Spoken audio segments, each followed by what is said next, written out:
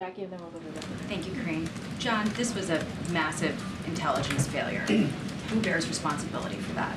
You know something, Jacqui? There's going to come a time when it's appropriate for us to take a look back retrospectively and see what the intel picture showed us or didn't show us, um, whether there's any gaps that need to be closed. There's going to be a time for that. And I suspect that our Israeli counterparts will do the same thing. Now's not that time. It's just not that time. Can you speak to the reports that Israel was warned by Egypt? I can't.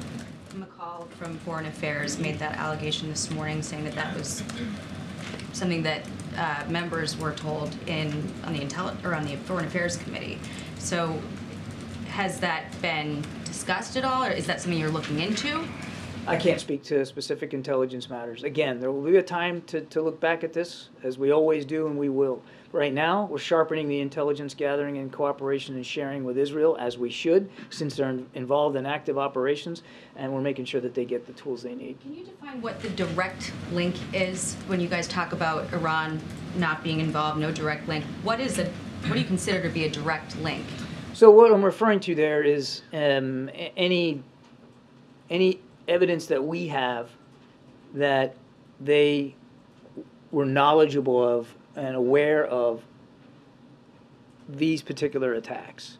Now, of course, as Jake said yesterday, you know it, it, that they were obviously have been broadly aware of Hamas's hostility to Israel um, and to some of the broad planning that that uh, Hamas would do. But we haven't seen anything that tells us they knew specifically date, time, method you know, that they were that they were witting to, to this. Um, it, we haven't seen anything that tells us they specifically cut checks to support this set of attacks, or that they were involved in the training, and that obviously this required quite a bit of training by these uh, terrorists, um, uh, or that they were involved in any directing of the operation. So again, I'll get to your. I, I promise. I, I don't want. I'm not trying to, mo, mon, you know, monopolize the time here, but we're, we're. It's it's not a. You know, we're not one and done here either. We're going to continue to look at the intelligence stream, and see if it leads us to a different conclusion. All I can do is be honest with you about the conclusions we're coming to today, and we just haven't seen that. You kind of answered my follow-up, which is, Oh, good. is it the position of the administration that at this stage Iran was not involved? I guess my, my question is, how can we know that this was in the planning for over a year and within a few short days say that Iran was not behind it?